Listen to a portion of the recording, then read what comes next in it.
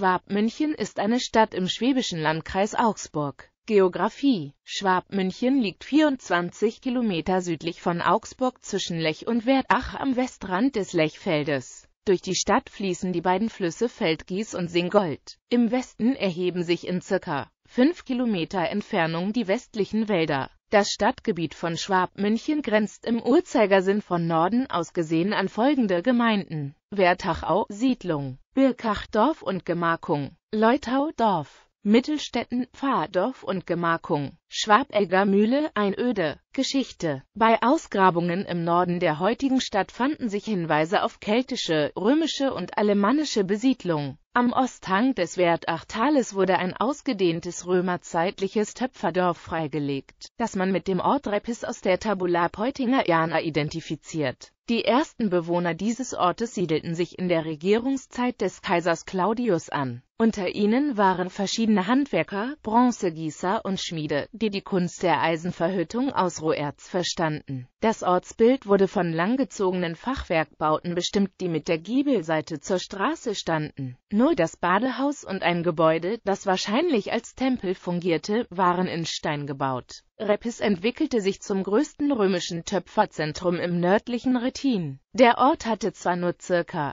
125 Einwohner, doch mehr als 80 Prozent von ihnen bestritten ihren Lebensunterhalt mit der Keramikproduktion. In 13 von 16 Anwesen waren Töpfereien untergebracht. Wohnhaus und Werkstatt bildeten eine Einheit. In den Kleinbetrieben arbeitete die ganze Familie, auch die Kinder. In Rappis wurde über fast 200 Jahre Haushaltsgeschirr für Keller, Küche und Tisch produziert. Das umfangreiche Sortiment reichte von der kleinen Öllampe bis zum meterhohen Vorratstopf. Der wichtigste Exportartikel war die Reibschüssel, das gängige Vielzweckgerät der römischen Küche. Aufgrund ihrer Qualität waren die Reibschüsseln aus Reppis hochgeschätzt und weit verbreitet. Sie wurden bis in den unteren Donauraum gehandelt. Um 260 n. CHR wurde Reppis in den Germanenkriegen angegriffen, die meisten Töpferwerkstätten zerstört und viele Einwohner getötet. Die Überlebenden konnten die Keramikproduktion nicht mehr aufleben lassen. Die letzten Einwohner verließen zu Beginn des 5. Jahrhunderts das Dorf. In Schwabeck, einem Ortsteil von Schwabmünchen, finden sich die Reste einer ehemaligen Fluchtburg aus der Zeit der Ungarneinfälle. Man datiert sie etwa auf das Jahr 950 nach Christus und sie hat den Namen Haldenburg. Schwabmünchen wurde erstmals 954 als Castellum Mantachinga in einer Biografie des Bischofs von Augsburg dem hl. Ulrich erwähnt. 1562 wurde die Gemeinde von Kaiser Ferdinand I. zur Marktgemeinde erhoben und erhielt ein Marktwappen. In den Jahren 1804 bis 1806 kam Schwabmünchen unter bayerische Herrschaft, vorher gehörte es dem Augsburger Hochstift. Am 4. März 1945 wurde Schwabmünchen von einem schweren Bombenangriff heimgesucht, bei dem über 60 Einwohner getötet wurden ein Viertel des Stadtgebietes wurde total zerstört, zwei Drittel wurden schwer beschädigt. Nach dem Zweiten Weltkrieg wuchs die Bevölkerung durch den Zuzug von Heimatvertriebenen stark an und so wurde Schwabmünchen 1953 vom Markt zur Stadt erhoben. Am 1. Juli 1972 wurde im Zuge der Kreisreform der ehemalige Landkreis Schwabmünchen mit Teilen des Landkreises Wertingen in den Landkreis Augsburg-West eingegliedert. Der am 1. Mai 1973 in Landkreis Augsburg umbenannt wurde. 1978 wurden im Rahmen der bayerischen Gemeindegebietsreform mehrere ehemals selbstständige Kommunen nach Schwabmünchen eingemeindet. Birkach mit heute 176 Einwohnern wurde bereits 969 als Pirich urkundlich als Gut des Augsburger Frauenklosters St. Stephan erwähnt. Es liegt etwa sieben Kilometer westlich von Schwabmünchen im Schwarzachtal. Klimbach mit heute 248 Einwohnern existiert bereits seit dem Frühmittelalter, wurde aber erst 1482 erstmals urkundlich erwähnt. Klimbach ist ein bedeutender Wallfahrtsort in der Diözese Augsburg. Klimbach liegt etwa sechs Kilometer westlich von Schwabmünchen auf der Höhe zwischen Wertach-Ebene und Schwarzachtal. Mittelstetten mit heute 541 Einwohnern liegt zwei Kilometer nördlich von Schwabmünchen und wurde 1316 erstmals als Besitz des Hochstifts Augsburg. Urkundlich erwähnt Schwabeck mit heute 801 Einwohnern wurde erstmals 1110 urkundlich erwähnt. Es liegt etwa 5 Kilometer westlich von Schwabmünchen am Rande des Anstiegs zum Staudengebiet zum Kalvarienberg Schwabeck und der Wertach-Ebene. Einwohnerentwicklung 1840 03 Einwohner. 1900 04 Einwohner. 1939 05 Einwohner. 1961 08 Einwohner, 1970 09 Einwohner, 2005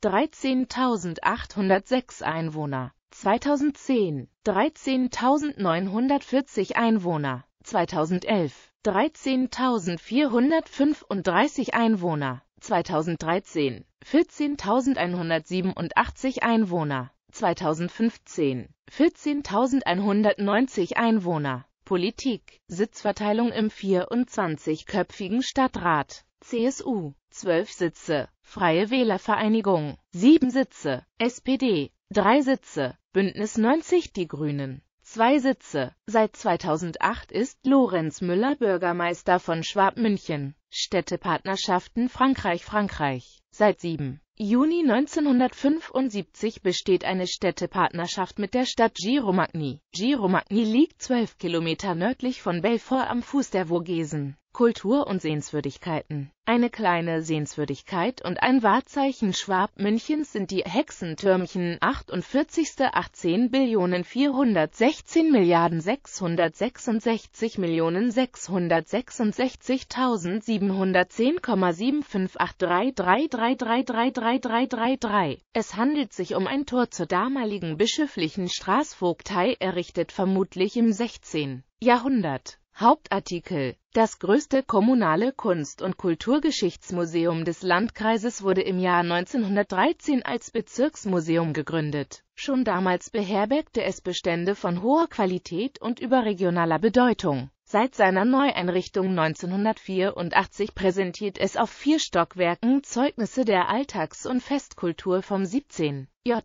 bis zur Gegenwart. Es verfügt über eine einzigartige Sammlung von Kunstwerken der Spätnazarener und betreibt eine Galerie für Gegenwartskunst, ständig wechselnde Sonderausstellungen und ein umfangreiches Veranstaltungsprogramm runden das Angebot ab. Die Dauerausstellung zeigt zunächst archäologische Funde aus dem römischen Töpferzentrum Repis, das einst auf dem heutigen Stadtgebiet gelegen war. Die Schaufenster zur Geschichte Schwabmünchens geben anschließend Einblick in die wechselhafte Historie der Stadt. Jede Menge Information für ortsgeschichtlich Interessierte. Doch mehr als drei Viertel der Ausstellungsfläche sind Bereichen gewidmet, die nicht mit der Regionalgeschichte in Zusammenhang stehen. Hier begegnet man u.a. einer umfassenden Sammlung europäischer Andachtsgrafik aus dem 17. 19. J.H. sakralen Skulpturen aus dem 16. 19. J.H. Keramik, Zinn, Kleidung oder Möbeln und Spielen aus drei Jahrhunderten. Die Galerie präsentiert in ihrem historischen Teil die Malerei der Spätnazarener Schule, hier vor allem Werke Ferdinand Wagners der 1819 in Schwabmünchen geboren wurde. Ein eigener Raum ist einem im Nazarenerstil gestalteten Heiligengrab vorbehalten. In der Krippensammlung des Museums befindet sich eine bewegliche Nazarener-Papierkrippe aus dem 19. J.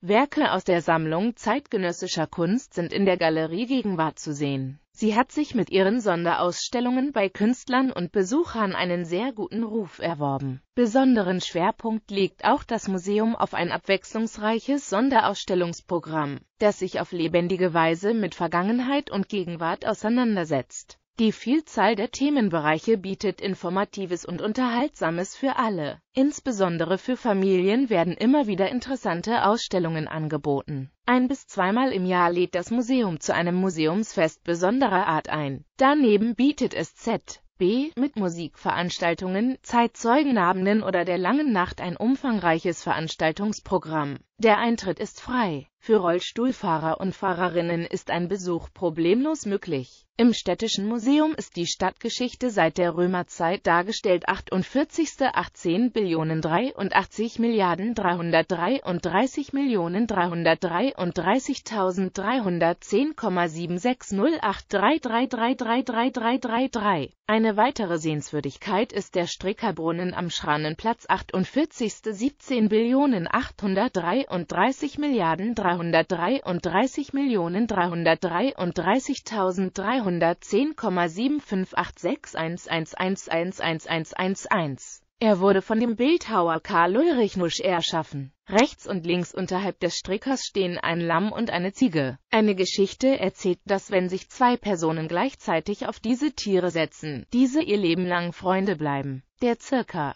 12 Hektar große Luitpoldpark 48. 18 Billionen 555 Milliarden 555 Millionen 555.610,7486111111111 im nordwestlichen Stadtbereich ist mit Bachläufen, Einsteinweiher, Goldfischweiher, Mariengrotte, Kinderspielplätzen und erhöht stehender Pagode auf dem Rodelberg gestaltet im Jahr 1915 wurde der Park auch Standort einer kleineren Wieser-Statue, die leider am 9. April 1919 von Unbekannten entwendet wurde. Alljährlich findet in Schwabmünchen am letzten Septemberwochenende der Michaelimarkt, der örtliche Jahrmarkt, statt. Veranstaltungsort für kulturelle Veranstaltungen ist die Stadthalle Schwabmünchen. Sie wird von Künstlern aus ganz Deutschland und von den einheimischen Vereinen genutzt der Kammerchor Schwabmünchen führt dort seine Frühjahrskonzerte auf. Seit mehreren Jahren findet rund um die Geierburg am letzten Augustwochenende das Singoldsand-Festival statt. Es wird vom Jugendbeirat der Stadt getragen. Jahr für Jahr organisieren rund 150 ehrenamtlich tätige Jugendliche das Festival für circa 6000 Gäste. Neben vielen kleinen Bands traten auch schon Musiker wie die Urbauten, Blumio, Claire, Iripati oder Itchy Poops Kid auf. Das Festival dient aber auch lokalen Bands als Plattform oder als Sprungbrett nach oben. Wirtschaft und Infrastruktur Schwabmünchen ist Enthaltestelle im Augsburger Verkehrsverbund. Züge verkehren auf der Bahnstrecke Augsburg-Buchloe im Halbstundentakt. Über Umgehungs- und Zubringerstraßen ist die Stadt an die Autobahn ähnlich ausgebaute Bundesstraße 17 Richtung Augsburg und Landsberg am Lech angebunden. Am Schulstandort Schwabmünchen befindet sich die St. Ulrich Volksschule, die Leonhard Wagner Mittelschule, die Leonhard Wagner Realschule, das Leonhard Wagner Gymnasium sowie die Landwirtschaftsschule Schwabmünchen und die Berufsfachschule für Diätassistenten.